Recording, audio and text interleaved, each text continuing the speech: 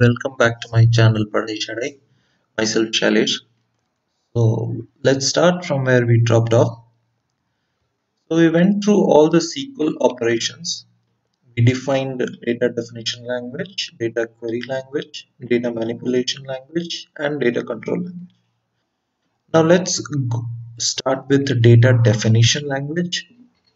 We will also have a practical session we will, where we will see how these uh, kinds of command work in a practical SQL developer session. So what is basically a data definition language? Data definition language is basically SQL commands that are used to define schema of a database. Now what is a schema? So as of now, while we are starting from scratch, you can assume a schema as just a boundary defined inside a database where a particular user works. So there could be multiple schemas inside a database. Under a project, we have multiple schemas and different people work in the same project under different schemas. Schemas are actually created to define a structure for the data to tell me how the data is placed, what relationships are there between multiple tables or multiple database objects, what kinds of procedures or triggers are kept inside a schema. All those are kept inside one schema to keep it meaningful and also to restrict other users from intervening in your work so that all your work are kept inside one schema. And you can use it access it drop it or create it at any particular time. So you can say that inside a database a database is a broader term. Inside a database you have multiple schemas and different users work under different projects in a schema you can have access to multiple schemas. You can restrict people's access to your schema so that they do not intervene in your code or anything. So it's basically a structure. Schema is a structure that is defined uh, designed by a data architect and provided to you. Under your schema you have different database objects on which you can work. So data definition language is to create all your database objects drop your database objects to define what kind of objects you have. All those comes under DDL those are named as data definition language. So what kind of commands you have in DDL you have create command you have drop. So as the name suggests create will create database objects. Drop with the drop you can drop all the whatever database objects you want to drop. Alter can do a modification in your created database objects. Truncate also comes under DDL commands. Truncate basically removes all the data that is present inside a table. You don't have to, I mean, worry about uh, deleting each and every row or something. If you do not want to use the data of a particular table, you can keep the structure of the table and truncate the data from the table. Your table would be as it is. Then in further in future, if you want to populate your table, you can uh, fire an insert command to populate your table. Then you even have a rename uh, DDL command that renames your database objects. So that we will see in the live session, the practical session. So let's uh, move to the practical session creating and seeing what actually is a DDL command. So now see, as you can see, this is a SQL developer. This is basically a tool where you can uh, fire your queries, create uh, uh, objects. You can even view them as you can see in this left side connections under connections window you can see multiple uh, things like demo for now we are working under demo schema as I explained so for us demo is the schema under demo we are working under demo you will find different tabs for tables views editioning views indexes, packages, procedures. These and all we will learn gradually. So for now, let's start with tables. Under tables, if you see, you will find two tables, employee one, employee two, which I have created. I can show you that these employee tables even do have data inside. So for this, we will fire a select command over the table. The syntax would be select star from the table name. you can see that these are the data that is present inside the employee one table. So right now we are dealing with DDL, data definition language. So I'll show you how to create a table. So let's write the syntax of table. So let us suppose we have a student table. We'll write create table. We'll inside the bracket we will give the columns that are present inside the table. Have a column with student ID. Now in front of the column you need to give provide the data type. So student ID would basically be a number so we can keep it an integer.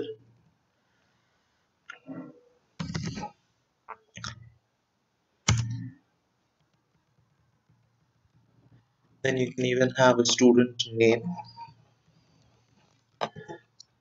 as the column. You can keep it uh, varchar of say 100, 100 length. You can have a student address.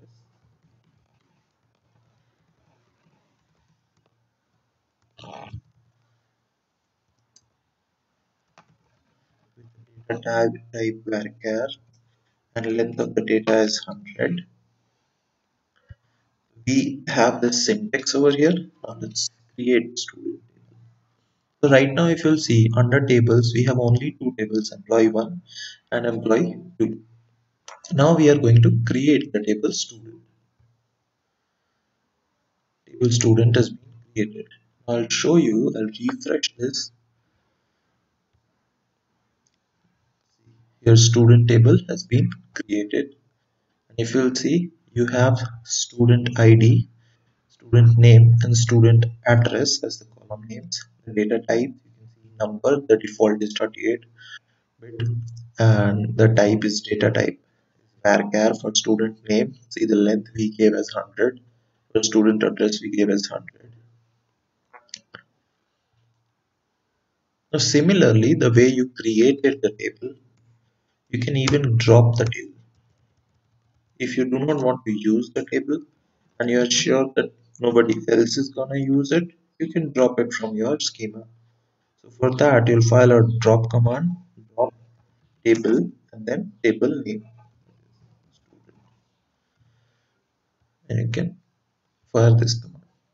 So the table is dropped. But still you are able to see it over here as it is not refreshed. Let's refresh it once I refresh the student table went off. To move ahead further to see other commands. Let's recreate it. So the student table has been recreated. Now we are not going to fire this drop table. So that we do not accidentally fire it we will comment it. So how you will comment? In sql developer you will put double dash over here then you can see that this has been deactivated. You won't be accidentally firing it. Now let's uh, try to insert some values into table. Student values first let student id be 101 name as sam. As it is a varchar you need to put it in quotes you don't need uh, quotes over here as this is an integer. A number will be definitely accepted inside student id you will give a student address. Let it be Mumbai let's fire this insert statement and see. The result so one row has been inserted. Similarly if you want to insert another row let's uh, change the student id to 102 and give it as let this be this statement populate the data in the table how will we verify that this uh, insert data has been inserted in my table you can fire a select statement over the table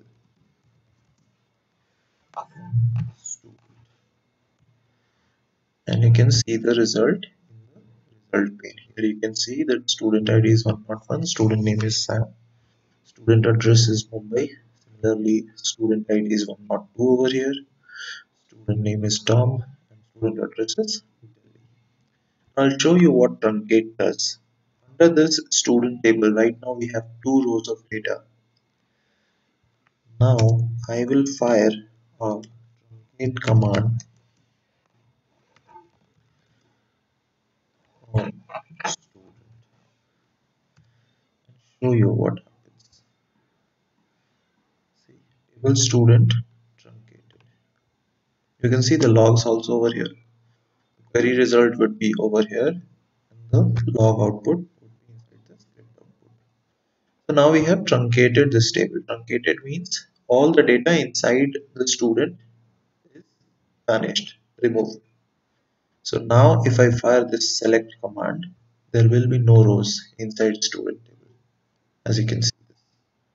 So now let's suppose we want to rename this table. before that, let's uh, find out what alter does. Now suppose I have the student table and I want to add another column like uh, subject inside table student. So we'll fire alter command. Alter student will provide the add keyword over here. Add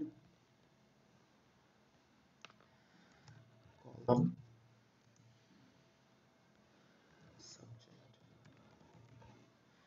will provide the data type.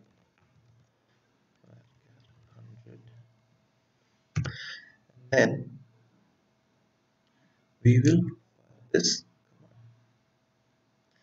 okay there seems to be some mistake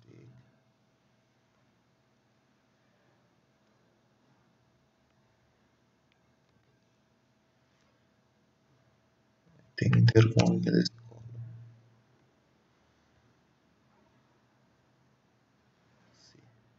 table student has been altered.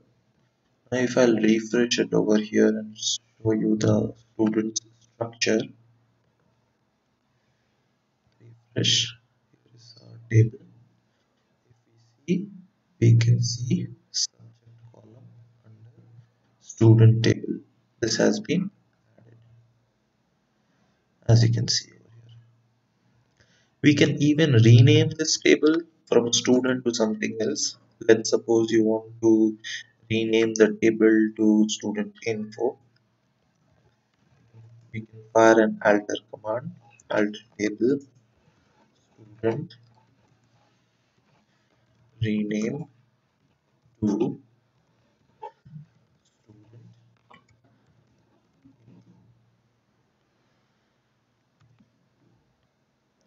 this command the table student has been entered now if I suppose fire this select statement over here on student table I won't find this table.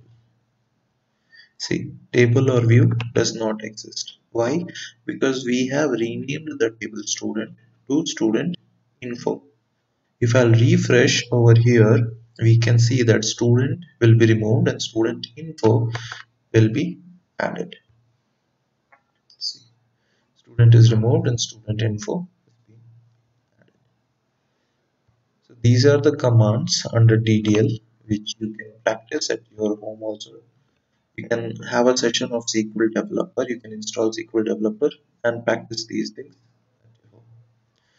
So for now, let's uh, stop this video. We'll meet again in the next video.